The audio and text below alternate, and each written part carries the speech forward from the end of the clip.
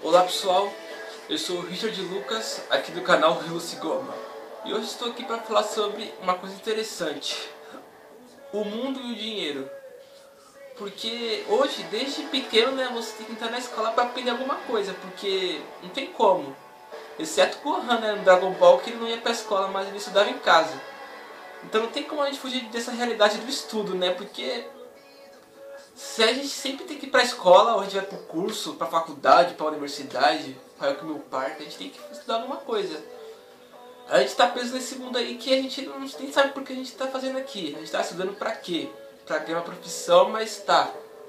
O sentido da vida, qual é o sentido da vida que eu tô trabalhando? Vou ganhar esse dinheiro aqui pra comprar o quê? Pra comprar um videogame, pra comprar um tênis, mas e aí? Qual é o sentido de tudo isso? Antigamente, acho que as pessoas eram mais felizes do que é hoje, porque antigamente as pessoas viviam livres, faziam o que queriam, caçavam, pegavam sua própria comida.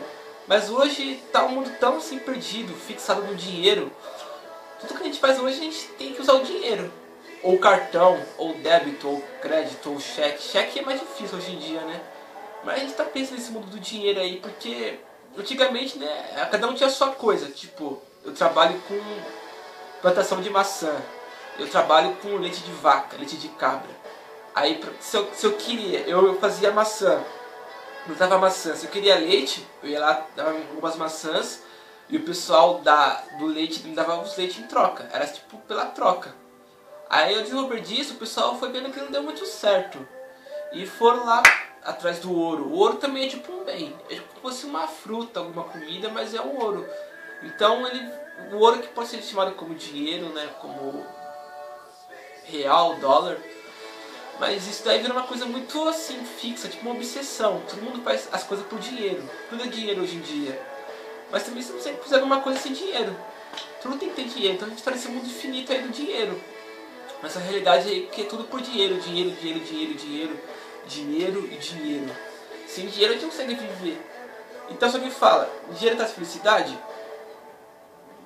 De um dinheiro em si não, mas se você tem dinheiro você consegue coisas que você quer. Se você consegue coisas que você quer, você se torna feliz. Então, o dinheiro está aí para nos. A gente está preso no dinheiro. O mundo devia chamar dinheiro, não terra, porque a gente está sobre a terra, mas o que tem mais na terra é água. Mas a gente vive não, a gente vive pela água também. Mas a gente tem que para que a gente precisa de água para viver. Mas para a gente ter água, a gente tem que ter o que antes? Dinheiro. Sem dinheiro a gente não consegue água, não consegue comida. Então, a gente vive no mundo chamado dinheiro. Então é isso, pessoal. Espero que comentem que vocês têm passado pelo dinheiro, que têm sofrido aí, que têm vivido para ganhar dinheiro. Curtam aí se gostaram. Se inscrevam aí. Valeu!